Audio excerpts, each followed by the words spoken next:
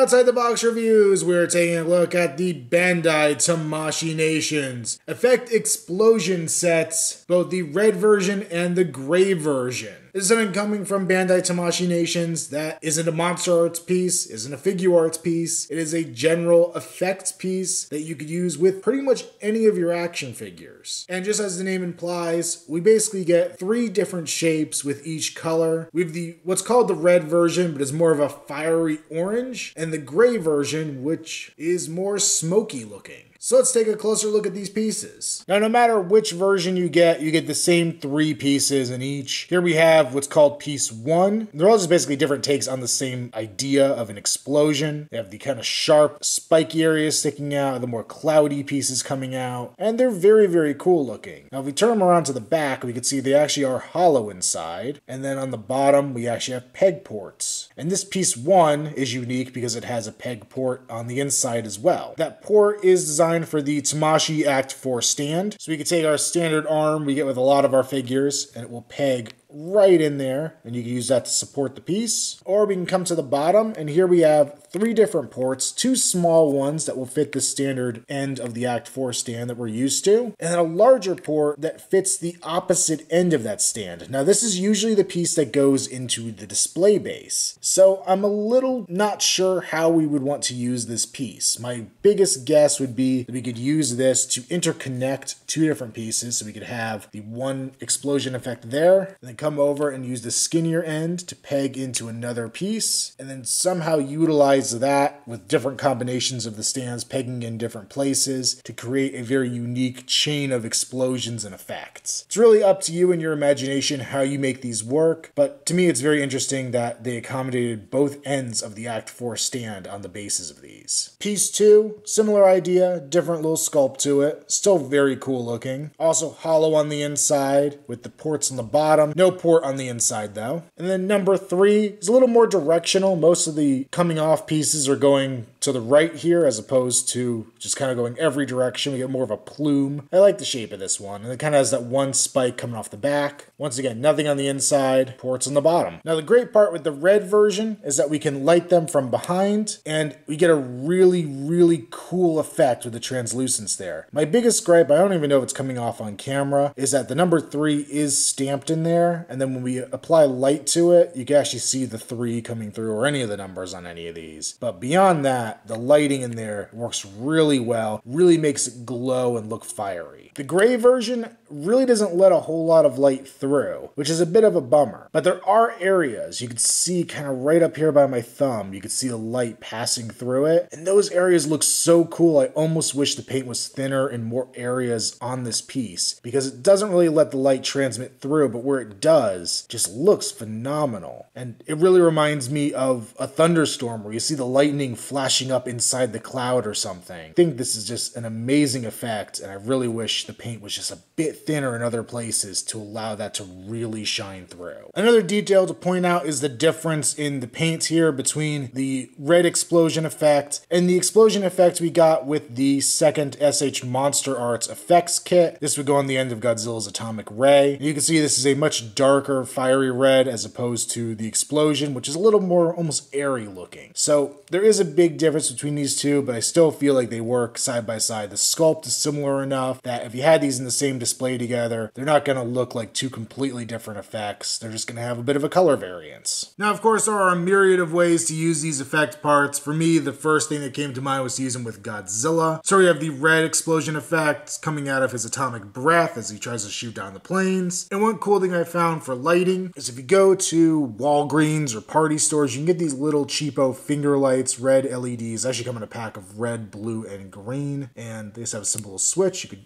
turn them on. And then if you slide them inside of the effect parts, and I think I just totally messed it up there and dropped it, but we can create some really cool glowing effects out of these clouds that look pretty darn good. Of course, this is me being a little sloppy trying to do it on camera, but you really can achieve a really cool look with these if you're patient and take the time. And here is a quick idea with the smoke effects of Indiana Jones running away from some kind of explosion as he is wont to do. And yeah, I know none of these pictures are particularly great or articulated comic book art worthy or anything like that. Just quick ideas I wanted to throw together to show off different potential for these effects. Or maybe you could try to recreate the scene where Dutch shoots the explosive arrow at the Predator and kind of makes an explosion next to him. And honestly, with effects pieces like these, the only real limit is your imagination, what you want to create with them. And I really like them. My only real gripe with these pieces is that the pictures online were a little misleading. The stack that they show you can make, that I showed off in the very beginning of the video, with the two on the bottom and one up top, I was led to believe from those pictures that these pieces could do that on their own, that they were designed to kind of interlock the spikes on them, and you could do that as a freestanding piece. The fact that you need an Act 4 stand and that it does not come with one kind of disappointed me because it adds a much more complex setup to this than I think it would have been if they were able to hook together. But beyond that, I've only had these a couple days and I've had so much fun playing around with them. I know I'm going to continue to enjoy messing with these and I think they're really, really fun to have. Now, a lot of collectors probably aren't going to go with these. If you just get the figures and you enjoy the figures on their own, there's no reason to have them. But if you like doing articulated comic book art, if you like just doing pictures or dynamic displays with your figures, these are fantastic. They add a really cool extra level to what you're doing. They're fairly inexpensive and look really great. Personally, I think if I was just going to buy one of these sets, I would go with the red version. The translucence effect to them makes them a lot more versatile, and quite honestly, I feel like the gray